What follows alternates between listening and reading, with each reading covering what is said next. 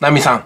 今日の事件ですけども、車、ガソリン、燃費、維持費、そしてこれからのエネルギー、この辺についてね、どんな事件が起きるのか、ちょっと私なりの考え方を話していこうかと思います。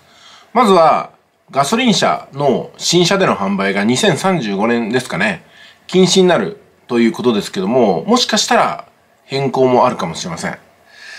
や、実際ね、禁止になってもガソリン車はまだまだ2040年とか2050年、世の中の主軸として走ってるんじゃないですかね。まあ、その一つの大きな理由ってのが、結局、ガソリンスタンドがやっぱ便利なんですよ。全国確かに4万箇所ぐらいあったと思うんですけども、このガソリン車がね、なんでこれほどまでに便利かっていうと、まあ例えばね、私のいる、広島、中国山脈、過疎地に行っても、あ、そろそろガソリン切れるなと思ってね、まあ10キロ、20キロ走ればガソリンスタンドって必ず見つかるんですよ。まあ、ですんで立ち往生ってことがないんですよね。そういう面では、燃費の少々悪い車に乗っても、まあ、山奥でね、ガソリンなくなったなと思っても、そんなに困ることがないなと思ってます。まあ、あの、私の住んでいる広島市とかね、あ広島市じゃない、広島県とか岡山県とか、結構過疎地の山間部とかあるんですよ。でも、どんなに田舎でも小さなガソリンスタンドがポンとあってね、そんなに困ることはないかなと。で、最近は検索でも見つけやすいんで、やばいと思ってもなんとかなるわけですよね。まあ、新潟も同じような状況あるかもしれません。まあ、あの、町の方ではね、ガソリンスタンドちょこちょこ見るのかなというところもあるし、そういうところでは、もしかしたらガソリンスタンドがね、えー、間引きされてる面があるかもしれませんけども、この全体的に見ると、この国全体的に見ると、まあ、ガソリンスタンドがたくさんあることによって、ガソリン車ってのは、あの、その便利さを失ってないなと思うんですよ。で、反面ね、電気自動車になるとどうかっていうと、うん、町の方では、都市部ではまだしもなんですけども、電気自動車の充電施設なんてのは、その、道の駅とかね、それからパーキングエリアを除くと、皆無なんですよ。調べてもないですね。この状況がこのまま続くとなると、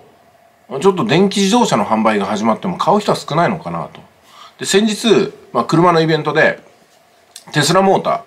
こちらの方がね、あの、一般車で乗り入れてるのがあったんで、いろいろ聞いてみたら、500キロから600キロ今走るらしいんですよ。1回の充電で。ただ、充電設備がないんで、その辺はいつも気を使ってね、窮屈な思いをして乗ってるから、普段はガソリン車を乗ってるって言われてましたね。まあ、ですんで、この、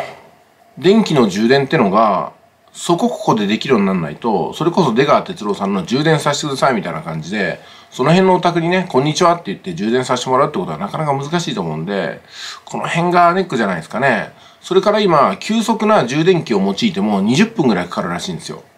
ガソリンスタンドでガソリンを目いっぱいにしようと思っても、まあ5分ぐらいで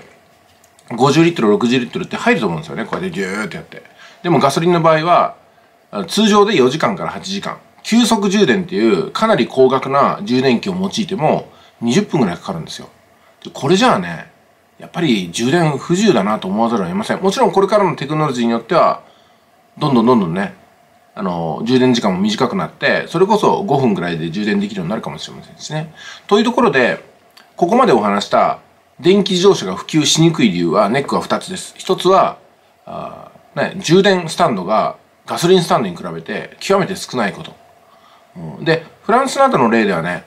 あの、もう国が主導して電気スタンドをもういっぱい敷設したんで、で、各メーカーも電気自動車を導入しやすかったってところがありますけども、今ね、あらゆる企業が電気自動車作ろうと思っても、それはなかなかどこで充電するんやっていうユーザーの問題があるんで、これは売れないですよね。かといって、電気スタンドをこう拡充させる企業っていうのがね、一般から生まれると思うかっていうと生まれないですよね。リスクが手がすぎるんですよ。本当に電気自動車が売れるのかなと。いつ頃から売れるのかなと。で、電気スタンドを敷設するとして、うまくいきそうになったらライバル会社がどうせ出て利益を圧迫するわけですよね。過当競争になっちゃうわけですよ。厳しいんじゃないですかね。うん。そうですね。そういう問題があるんじゃないかなと思います。え、そして、ここからもう一個考えていかないといけないのは、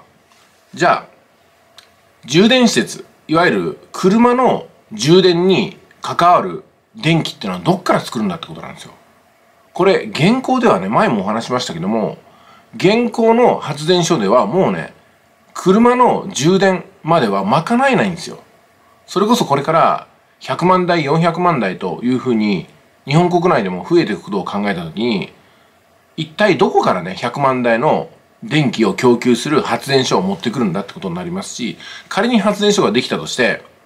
自然エネルギーではとても賄えませんから、火力発電か原子力になるんですよ。じゃあ火力発電にするとして、結局、二酸化炭素がバンバン出るわけですよ。つまりは何かっていうと、ガソリン車がなくなったところで、電気自動車に充電する電気はガソリンを燃やして作ってるということなんで、ユーザーからしてみるとね、クリーンだな、電気自動車ぞって思うかもしれないけども、その元の電気は結局バンバンバンバン CO2 をね、出しながらやってるってことなんで、もしかしたら、電気自動車は、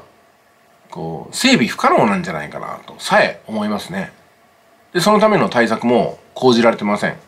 電気自動車が普及したらクリーンになるんだって感じでいる方が多いかもしれませんけども、そんなことはないんですよ。電気自動車が出ることによって、新しい発電所を作ったりね、その発電所でガソリンを燃やしたり、石油を燃やしたりして、結局は、今までユーザー一人一人が出していた排気ガスを一箇所で出すようになっただけで、何も変わらないんですよね。CO2 の排出、これは何にも変わらないんですよ。で、しかも、ガソリンの輸入ってのも別に改善されるわけではないと。ガソリンじゃない、石油ですよね。そう考えるとね、根本的には、どうやってこれからの電気ニーズに応えていくかっていうところが根底にあるんですよね。この電気ニーズを、うん、IT ガジェットほか最先端の、うん、こういった IT 機器、電子機器ですよね。これですら足りなくなるときに、車の需要まで供給できるのかって言ったらとても不可能ですね。ということで2030年、35年、2040年、電気自動車はまだまだ普及しないと私は思いますし、電気自動車普及しないから、あんまり売れないということで、まあ、高止まりするんじゃないですかね。それに比べてガソリン車ってのは、これから新車が出せないことを考えると、中古市場に溢れてくることが考えられます。車種によってはものすごく高値をつけるんじゃないかなと思いますけども、そのうちね、ガソリン車を電気自動車に、この、フォーメーションする、そういったサービスも出てくるんじゃないかなと思うんで、私はこのままガソリン車を乗り続けます。はい。じゃあ最後にね、最後になんですけども、私の乗ってる車の紹介をさせてもらいます。えー、今ご覧いただいているのが、あと、こちら、あと右側にナイト2000トランザムがございます。こちらの方燃費がだいたい3リットルですね。で、左側にいるのが最近買ったセルシオですね。えー、これがですね、燃費がだいたい5キロから7キロ。うん。そんなとこですね。それからもう一枚写真がございます。この写真には私が大和くんと一緒に、えー、遠出するとき、もしくは近所を回るとき、いわゆる大和くん専用車ですね。あのベルファイアがあります。ベルファイアの燃費は7キロぐらいで、これは結構ね、パワーのあるタイプなんですよ。だから燃費は悪いですね、これもね。うん。ということでね、今私がメインで乗ってる車は3台ありますけどもどれもこれも燃費悪し税金高し金食い虫でございますね。まあですけどもやっぱりねあの一台一台乗り換えてるとこれから先乗れる台数って限られてくるんですけども私の意欲とかね車に対するこれ興味とかってことを考えると、うん、同時に2台3台持ちでこのまま行くかなと。場合によっては4台目とか持つかもしれません。え現在ちなみに赤い4台目の車があるんですけども軽自動車がね。これは奥さんが乗ってますね。だから我が家にはあの私の所有する車4台ありましてで1台は奥さん用であと3台は私が用途に合わせて乗ってるっていうところかなと。まあトランザムに関しましてはどちらかというとね鑑賞用ですね。一番高いんですけどもうん。やっぱり40年も前の車なんでいろいろと乗ると不自由なんですよ。うん、だからもっぱら一人でもしくは奥さんと二人になる時はセルシオに乗りますかね、うん、やっぱり